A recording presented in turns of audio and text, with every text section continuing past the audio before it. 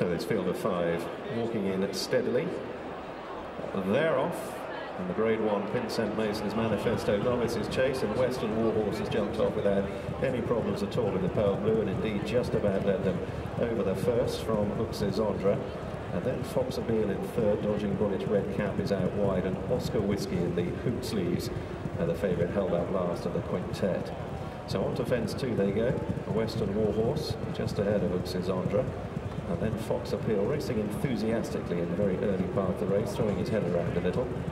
Now the first of the ditches. Western Warhorse jumped well. Uxizandre uh, careful in second. And then Fox Appeal, shadowed by Dodging Bullets and Oscar Whiskey uh, looking on. So the last fence in the back straight first time.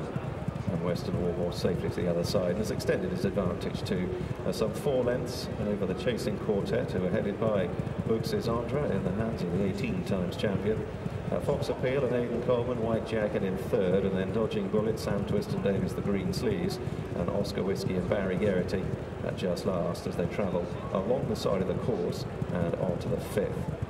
So Western Warhorse safely over it, Dodging Bullets uh, just a little bit unsighted behind Fox Appeal, who tickle the top.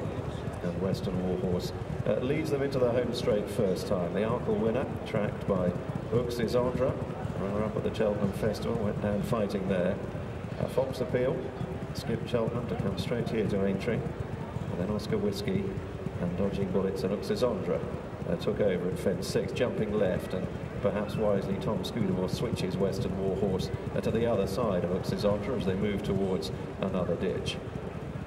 Uxizandre a bit straighter there, Western Warhorse had to put himself right and the other three close up, Dodging Bullets to switch to the inner, Fox Appeal in fourth, and then Oscar Whiskey.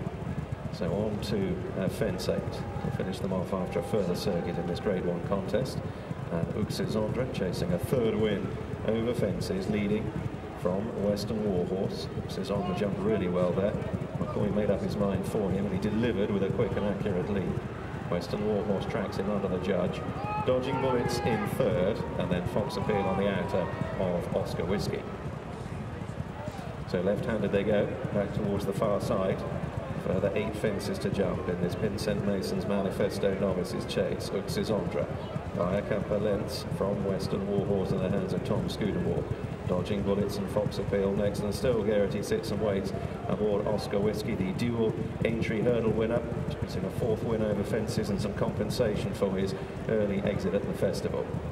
Uxizandre and Western Warhorse out the ninth. Little splitting the pair. Fox Appeal uh, was in tight there and he just grubbed the ground with his nose and Oscar Whiskey and Dodging Bullets move around him on towards the next on the far side. Uxizandre and Western Warhorse with the pace quickening all the time able to choose again between the leading pair and a line of three in behind. Dodging Bullets closest the rail, Oscar Whiskey wide and Fox Appeal between them. And now another open ditch. Fence 11, Uxizandre by a whisker from Western Warhorse. About four lengths clear from Dodging Bullets, Fox Appeal briefly hustled along and Geraghty still sits quietly aboard Oscar Whiskey.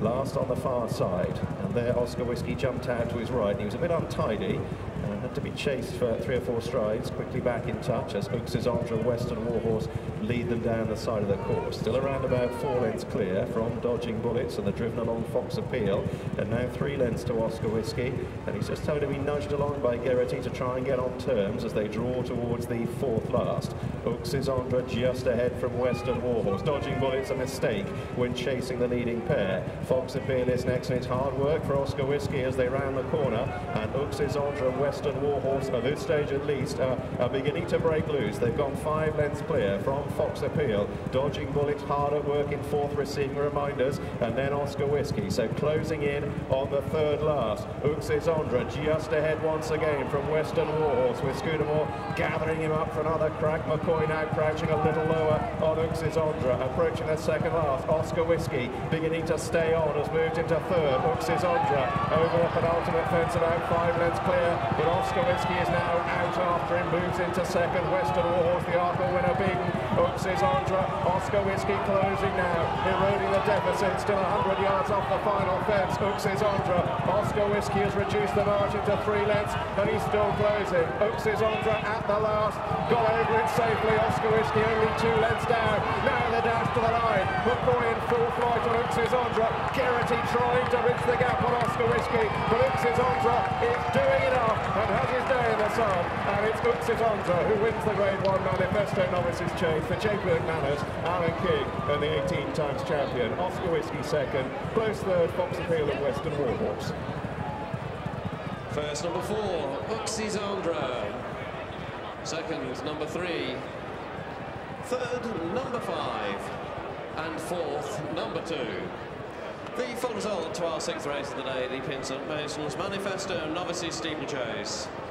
First, number four, Uxizandre. Second, number three, Oscar Whiskey.